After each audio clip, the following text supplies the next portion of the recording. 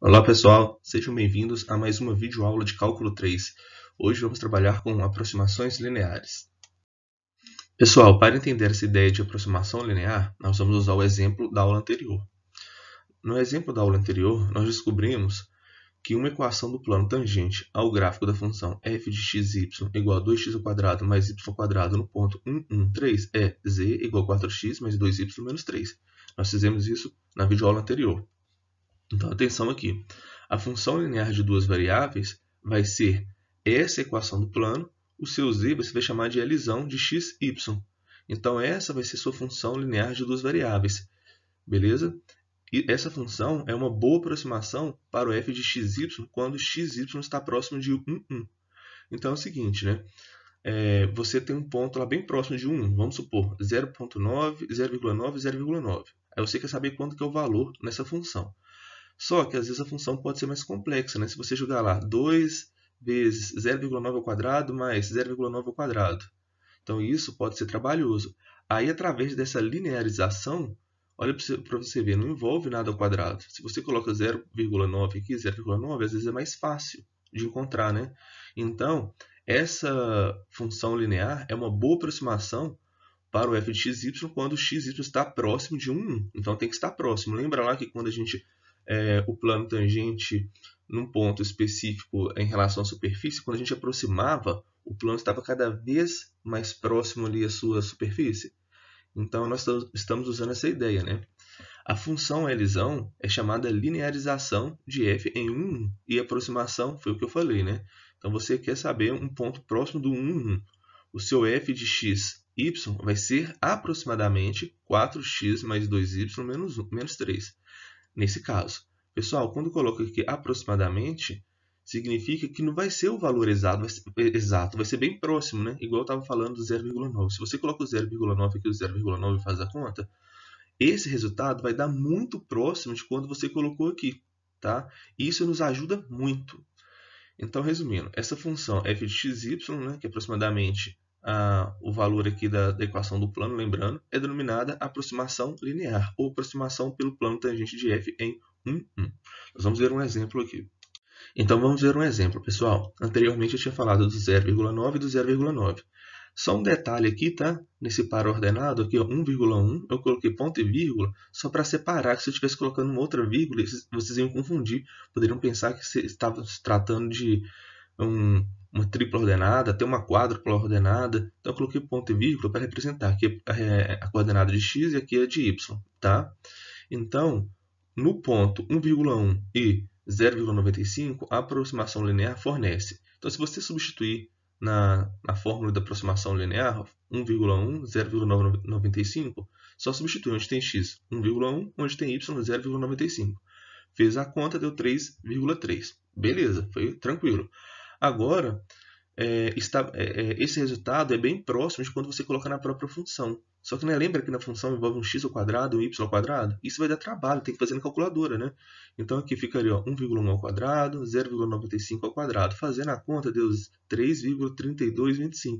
Então esse resultado é bem próximo. Então é muito bom você encontrar a sua linearização e substituir o ponto ali próximo que você queira encontrar o, o f de xy, tá? Se, entretanto, tomarmos um ponto longe de 1, 1, aí já fica ruim. Né? Se a gente pegar um ponto mais longe de 1, é, 1,1, que no caso ali onde é, é a tangência né, da, do nosso plano com a superfície, vai dar ruim. Por exemplo, né, ele aqui pegou um, um ponto 2 e 3. Quando eu faço a linearização do 2 e 3, deu 11. Só que se eu pegar o 2, a função f de 2, 3, deu 17. Observe que o resultado ficou bem longe. Né?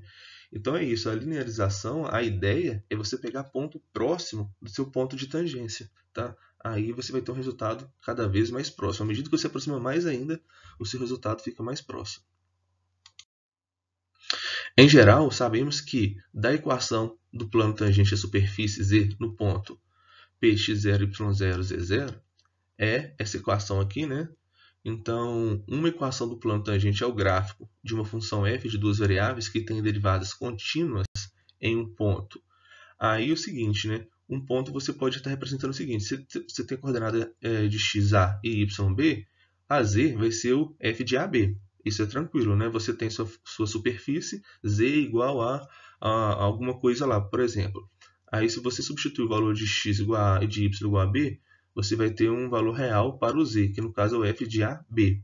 Então, a gente pode reescrever essa equação do plano tangente. Você vai deixar o z isolado, tá certo? Ah, o nosso z0, que no caso aqui vai ser o f de AB, é só uma anotação, tá, pessoal?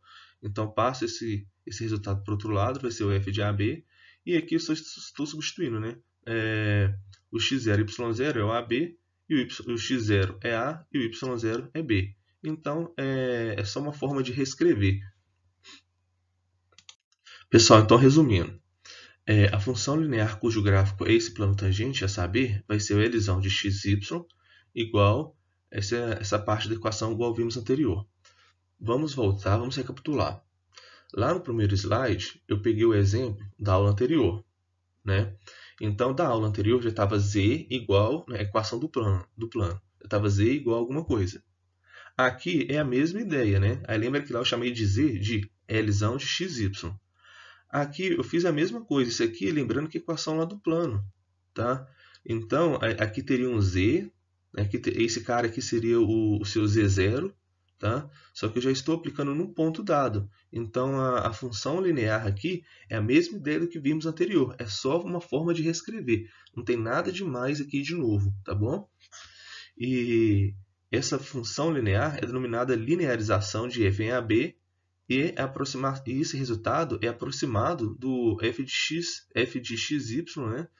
quando o x é A e o y é B, tá bom? Então foi o que a gente fez também no exemplo. Essa parte é chamada aproximação linear ou aproximação pelo plano tangente de f em AB. Então é isso, pessoal. Essa primeira parte eu acho que é, não é que seja tranquilo, né? mas você vai ter, dada a superfície, você encontra a equação do plano tangente, aí você pode fazer essa aproximação linear. Só que quando você olha para essa fórmula, sua vida fica mais fácil, né? Porque é dado uma função, uma superfície, você vai encontrar o f de AB? Consegue encontrar. É, você consegue encontrar a derivada parcial no ponto AB? Consegue. Você consegue encontrar a derivada parcial é, em relação a y no ponto AB? Consegue. Então basta jogar na fórmula e morrer o assunto tá bom? Não precisa de ficar dificultando, ah, vou deixar encontrar aqui a equação do, do plano, que na verdade é, vai ser muito próximo, né? É, então vamos lá, vamos ver um resultado importante agora. Pessoal, resultado importante. Uma função diferenciável é aquela para a qual a aproximação linear, que é dada por essa forma, por essa função, é uma boa aproximação quando xy está próximo de AB. Em outras palavras, o plano tangente aproxima bem o gráfico de f no ponto de tangência. Então é o seguinte, vai ser dado o exercício lá, é, para o aluno verificar se a função é diferenciável.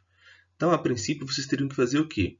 Teriam que encontrar a aproximação linear, que é dado por essa fórmula, por essa função, e vocês teriam que ver se isso daqui é uma boa aproximação quando xy está próximo de AB. Então, você teria que ficar fazendo isso para vários pontinhos ali para analisar se, se está próximo de AB. É, seria trabalhoso isso? Seria. Aí existe um teorema que nos ajuda muito, tá?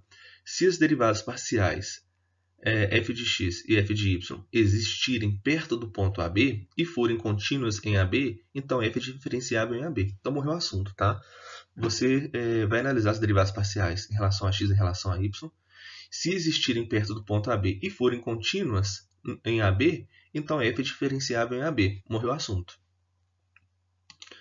Pessoal, esse exemplo ele vai abordar tudo que vimos na aula de hoje. Tá? Então é o seguinte, ó, mostre que f de xy igual a x vezes e elevado a xy é diferenciável em um zero, tranquilo, e encontre sua linearização ali. Em seguida, use a linearização para aproximar o f de 1,1 e menos 0,1. Então vamos, primeiro passo, ele tem que mostrar que isso aqui é diferenciável em um zero. Então, para mostrar que é diferenciável em um zero, eu tenho que mostrar que as derivadas parciais em relação a x e em relação a y são funções contínuas tá? no ponto dado. Então, o que, que vocês fazem? Faz a derivada parcial em relação a x e derivada parcial em relação a isso. Beleza. Aqui, tanto no ponto 1 quanto no ponto 1, 0, ela está bem definida, não existe restrição nenhuma. Então, para você analisar se a derivada parcial em relação a x e y é contínua, basta você ver se existe alguma restrição, né? se ela está bem definida. É, aí, se você substituir 1 e 0, você vai encontrar 1. Se você substituir 1 e 0, vai encontrar 1. Então, tanto a derivada parcial em relação a x quanto em relação a y são funções contínuas. Portanto, f é diferenciável pelo teorema anterior. Olha que top, morreu o assunto. Agora, encontre a linearização. Então, a linearização vai encontrar uma fórmula para aproximar pontos é, perto do 1, 0, tá? da função aqui dada, fxy. Então, você tem aquela fórmula, né? Elisão de xy é igual a f de xy, derivada parcial de x é, em xy, x menos x0, mais f, a derivada parcial de y é, de xy vezes aqui y menos y0. Aí é só substituir, galera. f de 1, 0, vocês encontram. A derivada parcial em relação a x no ponto 0, você já encontrou. É, x menos x0, x0 no caso é 1. Substituiu tudo, você encontrou o quê? x mais y. Tranquilo. Agora, a aproximação linear correspondente é... Então, este resultado é uma aproximação linear correspondente da função no ponto 1, 0. Tá? Então, não basta agora que não tem, se você pegar um ponto longe do 1, 0, essa aproximação linear não vai ser boa. Então, essa aproximação linear é em relação ao ponto 1, 0. Então, aqui na, na parte final do exercício, ele pede para você encontrar a linearização, né, para usar a linearização para aproximar o ponto 1,1 é, e o y aqui menos 0,1. Aí você só substitui na, na linearização que você encontrou, tá certo? Então fica 1,1 menos 0,1, que deu quanto? 1. Então ficou muito fácil. Agora imagina você ter que fazer isso daqui na sua função. Coloca lá no x 1,1 e no y 0,1. Então, comparando esse valor, né, fazendo uma conta na calculadora, se você substituir mesmo, você vai encontrar 0,98542. Resumindo, essa aproximação linear ela é muito boa, ela nos ajuda muito, tá certo? Então é isso, é, essa foi a videoaula de hoje para trabalhar com essa linearização. Aqui eu deixei três exercícios bem rapidinho, tá? Vocês vão explicar por que, que a função é diferenciável no ponto dado. Então, lembrando que vocês têm que mostrar que as derivadas parciais em relação a x e y são contínuas. A seguir, encontre a linearização da função naquele ponto. Então, vocês vão ter que usar a fórmula lá para encontrar a linearização no ponto aqui no, na letra A, 1, 2 e 3, 1 e 0, e na C, 1 e 1. Beleza? Pessoal, um grande abraço. Os exemplos, as definições, foram retiradas ali das notas de aula do livro do Sturt, tá bom? Então, um grande abraço e até a próxima.